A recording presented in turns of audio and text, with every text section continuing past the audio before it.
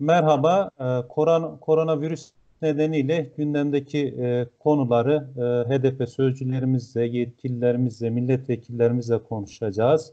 E, koronavirüsünün e, yanı sıra e, cezaevleri, cezaevlerindeki siyasi tutuklu ve hükümlüler, e, bunların e, içinde bulunduğu durum sürekli gündem oluyor ve bir infaz yasası AKP iktidar tarafından gündeme getirildi. E, buna e, ilişkin e, HDP'nin Batma milletvekili aynı zamanda hukukçu e, olan Mehmet Rüştü Tiryaki ile konuşacağız. Programımızın formatı bir soru bir cevap şeklinde olacak. Bir AKP'nin hazırladığı paketi nasıl değerlendiriyorsunuz? Halkların Demokratik Partisi'nin önerileri nelerdir? Öncelikle şunu söylemek gerekir. Bu infaz yasası ile ilgili e, paket aslında Adalet ve Kalkınma Partisi'nin uzunca bir süredir e, gündeminde e, olan bir paket. E, fakat Milliyetçi Hareket Partisi ile anlaşamadıkları için e, bazı suçları e, kapsama alıp almama konusunda anlaşamadıkları için e, infaz paketi e, bugüne kaldı. E, bugün gündeme getirilmesinin nedeni ne? E, kuşkusuz koronavirüs e, salgını, dünyada pandemi ilan edilmesine neden olan koronavirüs salgını. E, bu paketle ilgili herkesin bir fikri var e, ve Adalet ve Kalkınma Partisi de e, en azından mecliste grubu bulunan bütün partileri ziyaret etti ve görüşlerini aldı. Biz orada görüşlerimizi açıkça ifade ettik.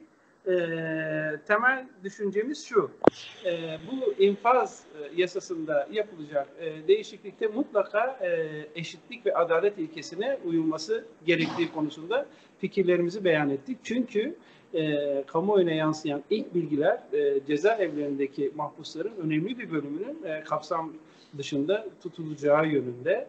E, siyasi mahpusların hiçbirisinin infaz yasasından yararlandırılmayacağı anlaşılıyor. Önce şunu söyleyelim. Zaten infaz yasası siyasi mahpuslar açısından büyük bir eşitsizlik içeriyor.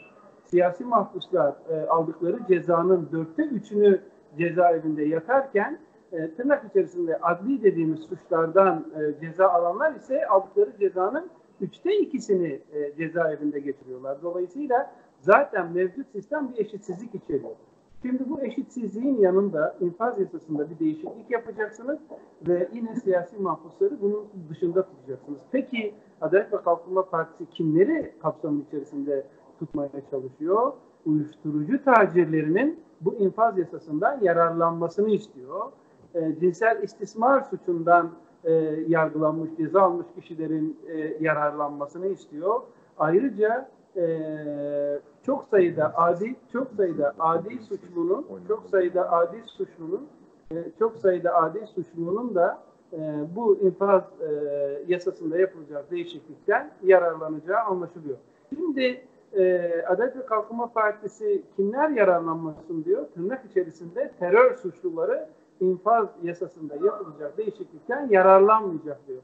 Oysa terör suçu derken aklımıza gelen şey sadece şu, bizim belediye başkanlarımıza terör suçlusu diyor bu iktidar. Bizim milletvekillerimize terör suçlusu diyor bu iktidar. Bizim eş genel başkanlarımıza terör suçlusu diyor bu iktidar. Düşüncesini ifade eden herkesi terör suçlusu olarak mahkum edip binlerce arkadaşımızı, parti yöneticimizi cezaevine atmış durumdalar. Yüzlerce gazeteci sadece iktidarın hoşuna gitmeyen e, haberleri paylaştıkları için, bunları haberleştirdikleri için terör suçlusu olarak cezaevine atılıyor. Dolayısıyla bu e, infaz yasasında yapılacak değişiklikten olur da e, siyasi mahpuslar yararlanmazsa elbette büyük bir e, eşitsizliğe, ikinci büyük bir eşit, ikinci büyük eşitsizliğe yol açacak. Bir başka sorun da şu, bunu da unutmamak gerekir. E, bakın koronavirüsten siyasi mahpusların etkilenmeyeceğini düşünüyor olamaz herhalde hiç kimse eğer infaz yasasında yapılacak değişikliğin temel amacı koronavirüs nedeniyle alınacak önlemlerse bundan cezaevinde e, tutuklu olan, hükümlü olan herkesin bir biçimde yararlanması gerekir. Şöyle bir şey söylemiyoruz. Bütün cezaevlerini boşaltın, herkes bundan yararlansın, herkesi affedin. Elbette böyle bir şey söylemiyoruz. Ama siyasi mahpusları bundan yararlandırmazsanız, belediye başkanlarını, milletvekillerini, düşüncesini açıkladığı için, siyaset yaptığı için cezaevine atılmış binlerce, on binlerce mahpusu bundan yararlandırmazsanız koronavirüs e, nedeniyle oluşacak zararlardan, e, insanların hastalanmasından hiçbir kaygı duymayacağınız ve bu insanların belki de hastalanmasını istiyorsunuz anlamı çıkarılacaktır. Gerçekten e, cezaevinde tutuklu olan, e, hükümlü olanların yakınları e, bizi arayıp her gün bunu söylüyorlar. Bu hükümet ne yapmak istiyor?